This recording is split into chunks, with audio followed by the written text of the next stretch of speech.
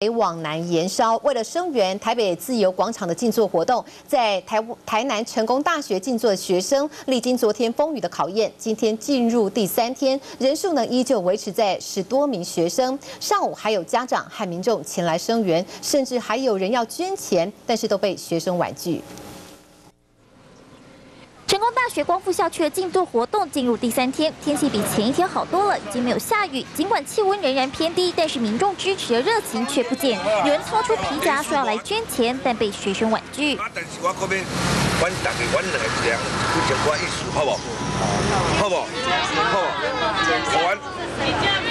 有人是以行动表达支持，像这位张妈妈，从周日晚上就来陪学生静坐。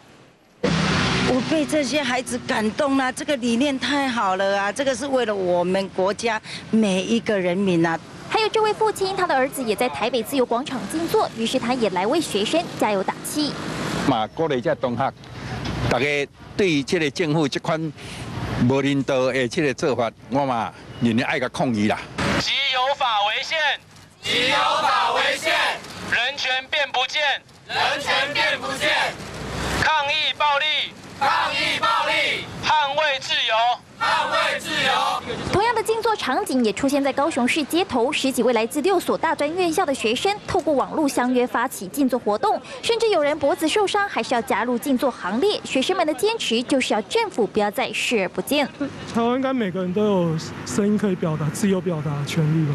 我觉得他他们这样哈，冷冷处理、冷反应哈，反而激起我们的动力，因为他他可能忽视。